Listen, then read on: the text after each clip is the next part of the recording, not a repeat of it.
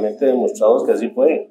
Lo que se pidió en su momento fue que se revisara un procedimiento punto.